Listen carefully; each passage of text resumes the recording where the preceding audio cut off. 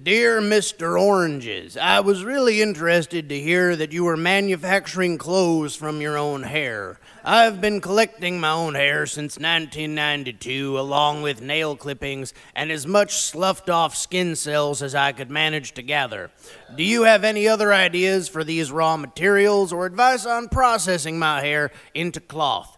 Regards, uh, Harrison Laws. This is an actual uh, in person letter, not an email that we received. Now, I would like to say, first thing, if you are going to use human hair uh, for the making of clothing, you're going to want to wash that either before you cut it off or, uh, God forbid, after you cut it off. Uh, if you are going to wash it after you cut it off, make sure you keep it contained in a ponytail or some such contrivance. Otherwise, that hair is just it's to get everywhere. Uh, hand to God. So, um, I mean, that's that's the only real bit of advice I have. Outside of that, you know, you just follow your muse.